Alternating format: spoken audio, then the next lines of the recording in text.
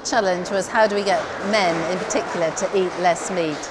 And we had two fantastic teams, both of which came up with really great, inspiring ideas for us. The team that we picked uh, was Team 2, with their concept was called Veg Curious.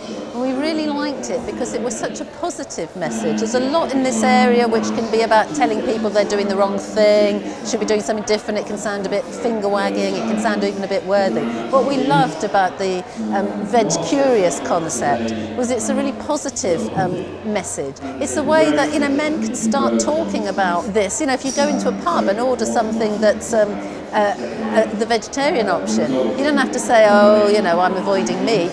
You can say, I'm veg curious, you know, and, it, and it's engaging, it's fun. We really saw how it could be rolled out in a number of ways, how we could start talking to food companies about it. It doesn't just have to be an individual choice thing. We can talk with chefs, we can talk with companies about providing more vegetable-based options on menus, for example.